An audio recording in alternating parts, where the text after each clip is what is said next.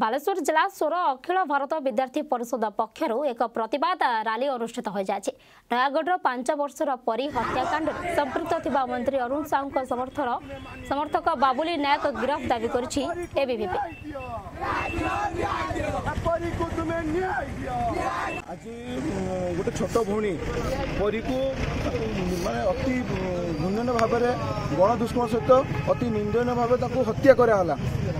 তাপরে তাঙ্ক মা নিজে এতলে দেলে এতলে দিয়ে সারা আজ দুই মাস হলানি দীর্ঘ দুই মাস হয়ে সারা আজ পর্যন্ত ন্যায় মিলি না পাঁচ মাস বি হয়ে সারা ন্যায় মিলবি না